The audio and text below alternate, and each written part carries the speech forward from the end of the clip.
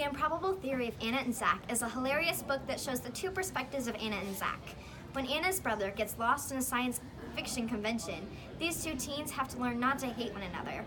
Through this comedic story, they learn love, worry, and how to laugh even in the most serious of times. If you want to read an amazing romance and a timeless story, I would highly recommend this novel.